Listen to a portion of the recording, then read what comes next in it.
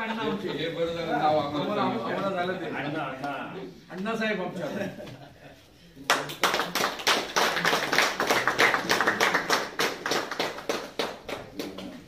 मराठी पत्रकार संघाची हैदराबाद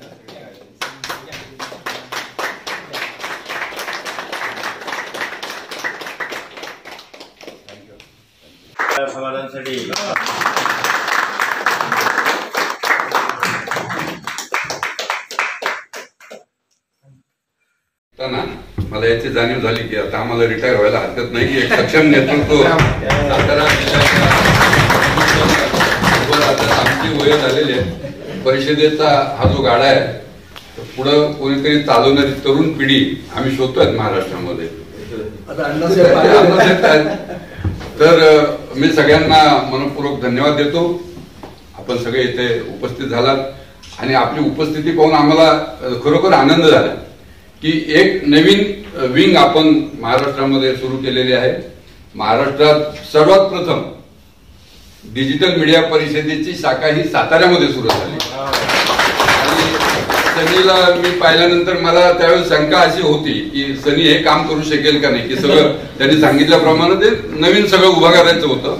आणि आयत्या याच्यावर सगळ्यांना रेगोट्या ओढता येतात परंतु नवीन गोष्ट कुठली करायची असेल तर त्याला काय श्रम घ्यावं लागतात किती मेहनत घ्यावं लागते याची मला जाणीव आहे. परंतु सनीनं गेल्या एक दीड वर्षामध्ये हे काम करून दाखवलं. त्याबद्दल मी सनीचं मनपूर्वक अभिनंदन करतो.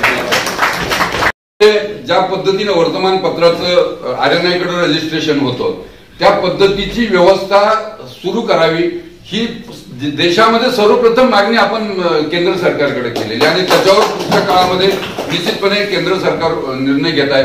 असं होता कामा नाही की कोणी उठतं आणि चॅनल काढतंय. तर त्याच्यावर काहीतरी नियंत्रण आलं पाहिजे. आणि वर्तमानपत्रासारखी विश्वासार्हता त्याच्यामध्ये निर्माण झाली. मी सगळीकडे सांगतो की तुम्ही चांगलं काम करताय. ग्रामीण आपापल्या भागातल्या चांगल्या बातम्या आपापल्या भागातल्या विषयाला न्याय देण्याचं काम ही डिजिटल मीडियातली सगळी मंडळी करते आहे. परंतु अजून विश्वासार्हतेच्या बाबतीमध्ये मलाही शंका आपल्या सगळ्यांनाही शंका की जसं वर्तमानपत्रात आलेली बातमी ही खरी म्हणजे खरीच असते असं अजूनही लोकांच्या मनामध्ये ठाम विश्वास आहे. त्या पद्धतीची विश्वासार्हता आपल्याला पुढच्या काळामध्ये निर्माण करावी लागेल. तर समाजाचं आणि शासनाच्या दृष्टीनं तुम्हाला मान्यता मिळवण्यासाठी पुढची पाऊल उचललं जाईल.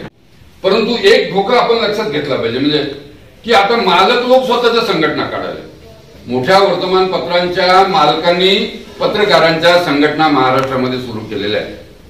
तर त्यांचे उद्देश काय आहेत? मध्ये परवा आम्ही बुलढाण्याला गेलो होतो किरण नाईक आम्ही पाबळे वगैरे सगळे होतो.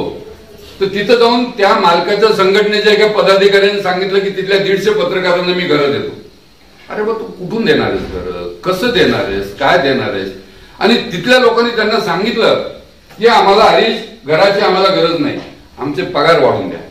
आमच्या नोकऱ्यांची गॅरंटी द्या. आमच्या जी पत्रकार कपात किंवा कामगार कपात चालू आहे त्याला काहीतरी संरक्षण द्या. आम्ही आमचे घर बांधू ना. म्हणजे तुम्ही आमच्या पोटावरच पाय देऊन आम्हाला घरं बांधण्याचे आश्वासनं देत असाल तर अशा आश्वासनाला काही अर्थ नाही. तर मला असं वाटतं की पत्रकारांच्या संघटना आणखी दहा झाल्या तर माझा विरोध नाही त्या परंतु मालकांची पत्रकार संघटना जर होत असेल तर हा या धोक्याची घंटी आहे हे आपण लक्षात घेतलं पाहिजे. म्हणजे मराठी पत्रकार परिषदेचा आवाज आज सगळ्या महाराष्ट्रामध्ये घुमतोय. मराठी पत्रकार परिषदेमध्ये फूट पाडायची.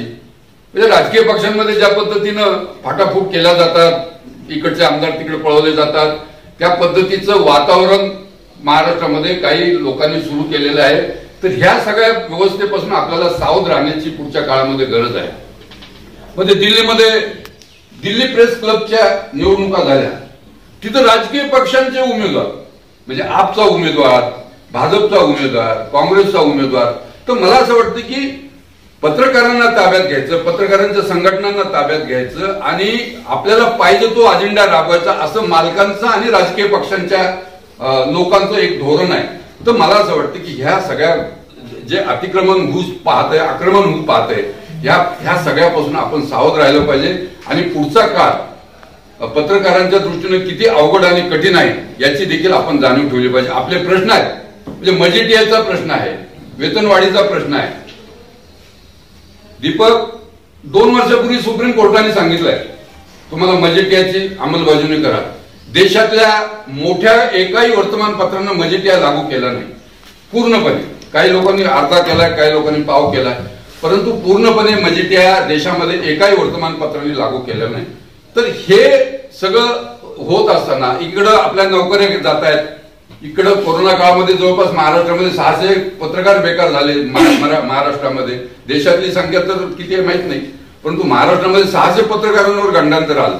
तर ह्या सगळ्या परिस्थितीमध्ये आपण जर वेगळं व्यासपीठ करून मग आता जे जे ज्यांना नोकऱ्या गेल्या त्या काळामध्ये त्यांनी स्वतःचे युट्यूब चॅनल्स काढले कोणाला मदतीला घेऊन. तर ह्या सगळ्या युट्यूब चॅनल्सला आपल्याला कसं संरक्षण मिळेल? आणि हे युट्यूब चॅनल्स पुढच्या काळामध्ये अधिक सक्षमपणे कसं काम करू शकतील आर्थिक दृष्ट्या देखील. तर मग अजूनही आपल्याला जाहिरातीचं जे काही प्रमाण आहे ते जाहिराती आपल्याला फारशा मिळत नाहीत.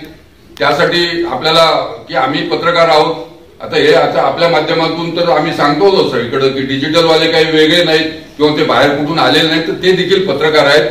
पत्रकार म्हणजे कोणाला म्हणायचं पत्रकार?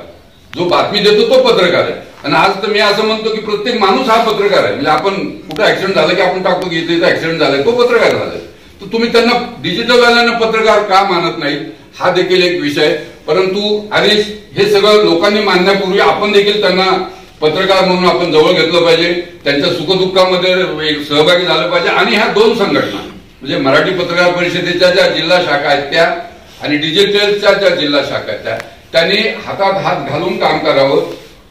दोन्ही का- दोन्हीकडच्या कार्यक्रमाला उपस्थिती दोन्ही राहावी. ही कुठली प्रतिस्पर्धी संघटना आहे किंवा प्रतिस्पर्धी व्यवस्था आहे असं दोन्ही बाजूने मानण्याचं कारण नाही आपण सगळे एक आहोत ह्या भूमिकेतून.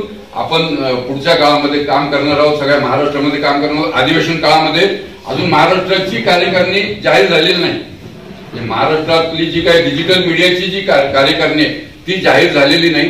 ह्या अधिवेशन काळामध्ये महाराष्ट्रात तोपर्यंत दरम्यानच्या काळामध्ये सगळ्या जिल्ह्यामध्ये आपल्या शाखा होतील आणि एक राज्यस्तरीय कार्यकारिणी ह्या अधिवेशनामध्ये आपल्याला निर्माण करायचे आपण सगळ्यांनी त्या दृष्टीनं काही आपल्याकडे काही इच्छुक असतील राज्यावर काम करण्यासाठी लोक तर त्यांची नावं शिफारशी करायला हरकत नाही. एक चांगलं सक्षम व्यासपीठ या निमित्तानं आपल्याला निर्माण करायचंय. साताऱ्यामध्ये सातारा जिल्हा पत्रकार संघांनी खरंच आम्ही सगळीकडे सांगतो की एक सामाजिक बांधिलकी किंवा सामाजिक जबाबदारीचं भान ठेवून समाजासाठी तर आपण काम करतो.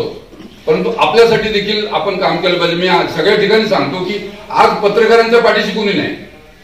ज्या वर्तमानपत्रामध्ये आपण काम करतो त्या वर्तमानपत्राचं मॅनेजमेंट आपल्या बरोबर नाही. सरकार आपल्या बरोबर नाही. सरकार पत्रकारांचे कुठलेच प्रश्न पंधरा वर्ष तुम्ही लढल्याशिवाय सोडत नाही. मी काल एक लेख लिहिला. की पत्रकार संरक्षण कायदा करण्यासाठी सरकारकडे आपण पंधरा वर्ष तर सरकार देखील आपल्या बरोबर नाही. आणि जो समाज आपल्याकडून हजार अपेक्षा व्यक्त करतो. म्हणजे तुम्ही बाहेर रस्त्यावर गेलात रस्त्यावर एखादा दिवाल नसेल तर सहज माणूस म्हणतो काय पत्रकार झोपलेत काय? त्यांना दिसत नाही. पाण्याच्या बातम्या येत नाही तर अशा प्रकारची समाजाची अपेक्षा असते. परंतु ज्यावेळेस एखाद्या पत्रकारावर हल्ला होतो ज्यावेळेस एखादा पत्रकार आजारी पडतो ज्यावेळेस एखादा पत्रकार आर्थिकदृष्ट्या अडचणीत येतो त्यावेळेस समाज कधी उठून तुमच्याकडे आलाय का की बाबा मी तुला मदत करायला तयार आहे? तर समाज देखील आपल्या बरोबर नाही. अशा परिस्थितीमध्ये आपणच आपल्या बरोबर राहण्याशिवाय पर्याय नाही आपल्यासमोर.